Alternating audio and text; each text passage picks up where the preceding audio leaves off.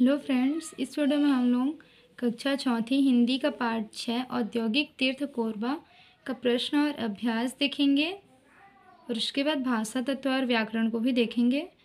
प्रश्न नंबर पहला है, कोरबा नगर कहाँ स्थित है और क्यों प्रसिद्ध है?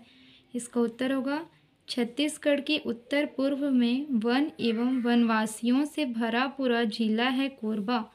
इस ज़िले का मुख्यालय है कोरबा नगर।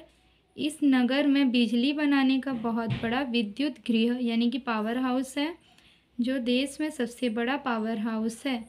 इसलिए कोरबा नगर प्रसिद्ध है। अब देखते हैं प्रश्न नंबर दूसरा। हमें किन वस्तुओं से ऊर्जा मिलती है? इसका उत्तर है, हमें भोजन से ऊर्जा मिलती है। प्रश्न नंबर तीसरा है, किस पदार्थ का शोधन करके पेट्रोल, डीजल बनाया जाता है? इसका उत्तर होगा खनिज तेल पेट्रोलियम का शोधन करके पेट्रोल डीजल बनाया जाता है। प्रश्न नंबर चौथा, हमारे प्रदेश में जल विद्युत किस बाँध से पैदा की जाती है? इसका उत्तर होगा, हमारे प्रदेश में जल विद्युत दर्री बाँध तथा मिनी माता बाँध, जिसका अन्य नाम बांगो बाँध है, से पैदा की जाती है। प्रश्न नंबर पाँचवा देखते हैं। कोरबा में सामान ढोने का काम बहुत ज़्यादा क्यों है? इसका उत्तर होगा, कोरबा में एल्युमिनियम धातु बनाने का एक बड़ा कारखाना है। इसके अलावा कई छोटे छोटे कारखाने भी हैं, जो इन बड़े कारखानों की ज़रूरतों को पूरा करते हैं। यहाँ की खदानों एवं कारखानों के कारण सामान ढोने का काम बहुत ज़्यादा है। ये पांचवा का उत्तर था। अब प्रश्न नंबर छठवां देखते हैं। हम अपने घरों में बिजली की बचत कैसे कर सकते हैं? इसका उत्तर होगा, हम अपने घरों में बिजली की बचत निम्न प्रकार से कर सकते हैं। पहला, दिन के समय खिड़की खोल कर रखें जिससे रोशनी आए तथा विद्युत बल्ब की ज़रूरत न पड़े। दूसरा, कहीं भी उपयोग के पश्चात घर में जल रहे विद्युत बल्ब, पंखे इत्यादि को बंद अवश्य करें। इससे क्या होगा? बिजली की आवश्यकता क्या है? कम होगी। अगर हम खिड़की खोल कर रखें तो बिजली के बल्ब नहीं जलाने पड़ेंगे और बिजली की बचत होगी। प्रश्न नंबर सातवां है, जब तुम्हारे घर की बिजली बंद हो जाती है, तब तुम्हें क्या क्या परेशानियाँ होती हैं? तो इसको तो आप लोग खुद से भी लिख सकते हैं। तो मैंने अपने अनुसार इसको लिखा है, जब हमारे घर की बिजली बंद हो जाती है तो हमें निम्न परेशानियाँ होती हैं। पहला रात के समय बिजली न होने पर पढ़ने में समस्या होती है। दूसरा, पंखे नहीं चल पाते हैं। कब नहीं चल पाते हैं? जब बिजली नहीं होती है तो। जिससे गर्मी लगती है। ये था प्रश्न नंबर सातवां का उत्तर। प्रश्न नंबर आठवां देखते हैं। प्रश्न नंबर आठवां है, नीचे लिखे शब्दों से तुम क्या समझते हो? पाठ को पढ़ो व चर्चा करके लिखो। शब्द है ऊर्जा, स्रोत, पेट्रोलियम, विद्युत, गृह, ताप विद्युत और जल विद्युत। ऊर्जा ऊर्जा में होता है बल, मनुष्य हो या अन्य जीव, सभी को कार्य करने के लिए ऊर्जा की आवश्यकता होती है। और मनुष्य को ऊर्जा किससे मिलती है? मनुष्य को ऊर्जा भोजन करने से मिलती है। फिर स्रोत स्रोत में होता है साधन मनीष सॉरी मशीनों को चलाने के लिए कई साधनों का उपयोग किया जाता है। तीसरा नंबर है पेट्रोलियम। पेट्रोलियम एक प्राकृतिक ईंधन है। यह प्रकृति के अंदर पाया जाने वाला एक तैलीय द्रव है। पेट्रोलियम का शोधन करके पेट्रोल, डीजल इत्यादि बनाया जाता है। इस प्रकार से जो शब्द दिए हुए हैं, उससे हम जो चीज़ समझते हैं, उसको यहाँ पे लिखना है। आगे देखते हैं। अगला है, विद्युत गृह। विद्युत गृह में होता है पावर हाउस जहाँ बिजली पैदा की जाती है, उसे विद्युत गृह कहते हैं। देश का सबसे बड़ा विद्युत गृह कोरबा नगर में स्थित है। फिर ताप विद्युत, कोयले को जलाकर उसके भाप से विद्युत बनाई जाती है, जिससे मशीनें चलती हैं। इसे ताप विद्युत कहते हैं। अगला है जल विद्युत। बाँध के पानी से विद्युत उत्पन्न की जाती है, जिसे जल विद्युत कहते हैं। छत्तीसगढ़ में जल विद्युत कहाँ से उत्पन्न की जाती है? बांधो बाँध से, ठीक है? बांगो बाँध से, जिसका अन्य नाम क्या है? मिनी माता बाँध है। अब है भाषा, तत्व और व्याकरण। इसमें प्रश्न नंबर पहला है, नीचे दिए गए शब्दों के अर्थ जानकर इनका वाक्यों में प्रयोग करो। पहला है स्रोत स्रोत मीन्स होता है साधन। वाक्य प्रयोग देखते हैं। वाक्य प्रयोग होगा, मनी मशीनों को चलाने के लिए ऊर्जा के कई स्रोतों का उपयोग किया जाता है। दूसरा है, शोधन। शोधन मीन्स होता है, शुद्ध करना, वाक्य प्रयोग होगा। खनिज, तेल, पेट्रोलियम का शोधन करके पेट्रोल, डीजल आदि बनाया जाता है। तीसरा नंबर है, अनिवार्य। अनिवार्य मीन्स होता है ज़रूरी। वाक्य प्रयोग, बिजली मनुष्य की अनिवार्य आवश्यकता बन गई है। आज के ज़माने में कोई भी बिजली के बिना नहीं रह सकता तो बिजली क्या है? एक अनिवार्य आवश्यकता बन गई है। चौथा है, खुशहाली खुशहाली मीन्स होता है संपन्न। वाक्य प्रयोग, हमारे राज्य में खुशहाली का प्रमुख आधार है औद्योगिक तीर्थ कोरबा, जो क्या करती है, हमारे राज्य को एक संपन्न राज्य बनाती है। पांचवा नंबर है, अतिरिक्त। अतिरिक्त मीन्स होता है अलावा। वाक्य प्रयोग, दर्री बाँध की अतिरिक्त बांगो बाँध से भी जल विद्युत उत्पन्न किया जाता है। छठवां नंबर है, पर्याप्त। पर्याप्त मीन्स होता है काफ़ी। वाक्य प्रयोग होगा, सभी को पर्याप्त भोजन मिलनी चाहिए। अब आगे समझो है, इसको बुक से ही समझते हैं कि ये क्या है। कमल भिलाई गया है, मनोज भिलाई से आया है। इन दोनों वाक्यों को मिलाकर एक वाक्य इस तरह से बना सकते हैं, कमल भिलाई गया है और मनोज भिलाई से आया है। दोनों वाक्यों को जोड़ने के लिए और शब्द का प्रयोग किया गया है। कमल भिलाई गया है। सरल वाक्य है। कमल भिलाई गया है और मनोज भिलाई से आया है। एक संयुक्त वाक्य है। क्या है ये? संयुक्त वाक्य है। तो इस प्रकार से नीचे दिए गए वाक्यों को इसी तरह जोड़कर नए वाक्य बनाओ। यहाँ पे नीचे में वाक्य दिया हुआ है जिनको जोड़ करके हमको नए वाक्य बनाना है। क नंबर है, सुशील खेल रहा है रमेश पढ़ रहा है।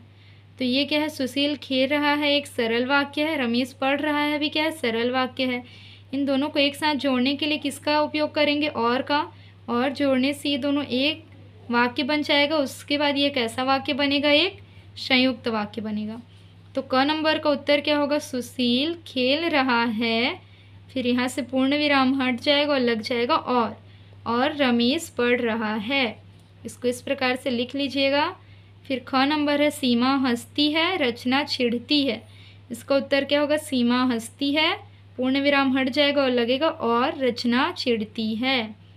ग नंबर है, वत्सल पढ़ने जाएगा, नमन मंदिर जाएगा। इसका उत्तर होगा, वत्सल पढ़ने जाएगा और नमन मंदिर जाएगा। घ नंबर है, ऊषा सो रही है, श्वेता उसके पास बैठी है। इसका उत्तर हो जाएगा, उषा सो रही है और श्वेता उसके पास बैठी है, जो कि इन वाक्यों का क्या होगा? संयुक्त वाक्य होगा। नीचे दिए गए वाक्यों को पढ़ो। क नंबर, हमें पहले बिजली कम मिलती थी, ख, हमें आज बिजली पर्याप्त मिलती है। ग नंबर है हमें आगे बिजली पर्याप्त मिलती रहेगी। वाक्य क बीते समय, यानी कि भूतकाल की बात बता रहा है, क्योंकि वहाँ मिलती थी तो जब थी आता है तो क्या होता है? वो भूतकाल में होगा। वाक्य ख वर्तमान समय की बात बताता है। ख नंबर वाक्य में क्या हमने पढ़ा? हमें आज बिजली की पर्याप्त मिलती है। मिलती लास्ट में क्या है? ती है। तो क्या हो जाएगा? वर्तमान काल का शब्द हो जाएगा। वर्तमान काल का वाक्य हो जाएगा। वाक्य ग भविष्य की बात बताता है। वाक्य ग में क्या लिखा है? हमें आगे बिजली पर्याप्त मिलती रहेगी। रहेगी आ गया तो क्या हो जाएगा? भविष्य काल में हो जाएगा। कमल भिलाई गया है। यह वाक्य कमल कहाँ गया है? प्रश्न का उत्तर है। इसी तरह हर उत्तर का एक प्रश्न होता है। अब तुम नीचे लिखे उत्तरों के प्रश्न बनाओ। यहाँ पे उत्तर दिए हुए हैं, जिनके हमको क्या बनाना है? प्रश्न बनाना है। क नंबर है, छत्तीसगढ़ की ऊर्जा नगरी कोरबा को कहते हैं। इसका प्रश्न क्या होगा? छत्तीसगढ़ की ऊर्जा नगरी किसे कहते हैं? ख नंबर, मशीन को चलाने के लिए ऊर्जा का उपयोग करते हैं। तो इसका प्रश्न कैसे लिख सकते हैं? मशीन चलाने के लिए किसका उपयोग किया जाता है? ग नंबर है, कोरबा का ताप विद्युत गृह कोयले से चलता है। इसका प्रश्न होगा, कोरबा का ताप विद्युत गृह किससे चलता है? घ नंबर उत्तर है, मनुष्य या अन्य जीव जंतु भोजन से ऊर्जा प्राप्त करते हैं। तो इसका प्रश्न हम कैसे बना सकते हैं? मनुष्य या अन्य जीव जंतु किससे ऊर्जा प्राप्त करते हैं? प्रश्न नंबर तीसरा है, अब नीचे दिए वर्तमान काल के वाक्यों को भूतकाल और भविष्यत काल में बदलो। यहाँ हमने भूतकाल भविष्य काल के बारे में जाना कि किस प्रकार से लिखते हैं। चलिए अब इसको बदलते हैं। ये जो वाक्य है वो किस काल में है? वर्तमान काल में है। इसको किस काल में बदलना है? भूतकाल और भविष्यत काल में। इन उद्योगों में सैकड़ों कामगार काम करते हैं। तो इसका भूतकाल में क्या होगा? इन उद्योगों में सैकड़ों कामगार काम करते थे। और भविष्यत काल में इसको कैसे लिखेंगे? इन उद्योगों में सैकड़ों कामगार काम करेंगे। ख नंबर है, भाप से मशीनें चलाकर बिजली पैदा की जाती है। भूतकाल में इसका वाक्य बनेगा, भाप से मशीनें चलाकर बिजली पैदा की जाती थी। भविष्यत काल में इसी वाक्य को हम लोग किस प्रकार लिखेंगे?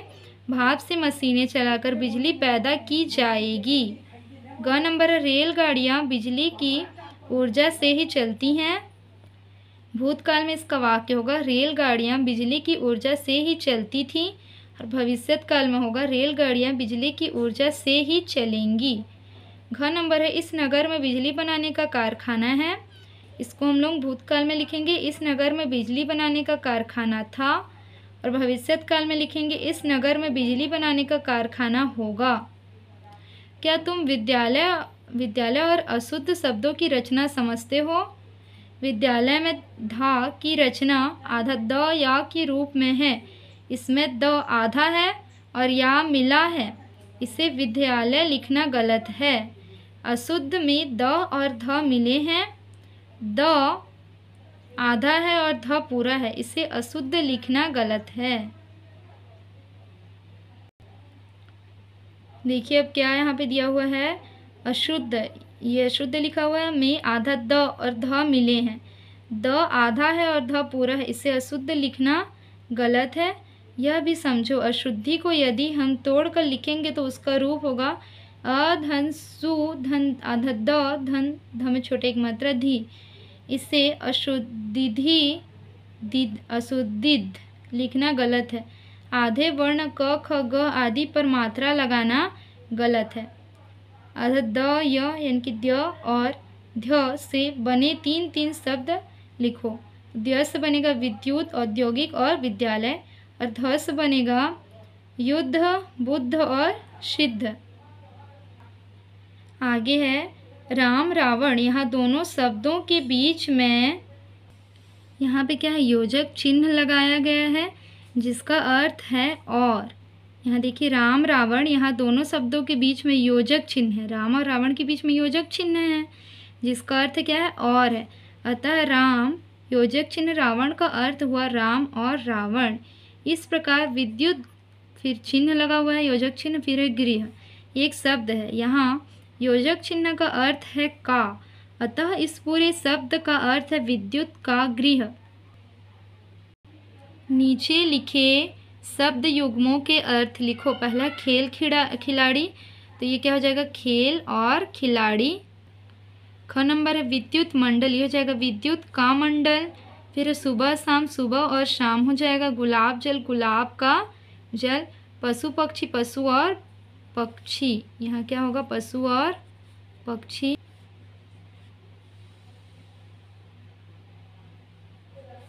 पशु और पक्षी। फिर सुरक्षा कवच, ये हो जाएगा सुरक्षा का कवच। प्रश्न पाँचवा, इन वाक्यों में एक एक शब्द अशुद्ध लिखा है, इसे खोजो और शुद्ध करके वाक्य फिर से लिखो। क नंबर, इन खादानों से भारी मात्रा में कोयला निकाला जाता है। तो यहाँ खदानों की जगह क्या होगा? खदानों होगा। ख नंबर है बांगो, बाँध, मैं, जल, विद्युत की तीन इकाइयाँ हैं। तो यहाँ मैं की जगह क्या होगा? मी होगा। ग नंबर है कोरबा, हमारा तीर्थ स्थान है। तो ये यहाँ पे क्या होगा? औद्योगिक होगा। औद्योगिक तीर्थ है होगा। ख नंबर है बाँध से कई नालियों में पानी निकाला जाता है। तो इसका उत्तर होगा, बाँध से कई नालियों में पानी निकाला जाता है। यहाँ छोटा ही होगा। प्रश्न नंबर छठवां इन शब्दों को सुधार कर लिखो। तो इसको आप लोग खुद से कीजिएगा और कमेंट करके बताइएगा कि इन तीनों का आंसर क्या होगा। वीडियो अच्छी लगी हो तो लाइक, शेयर और सब्सक्राइब कीजिएगा। Thank you.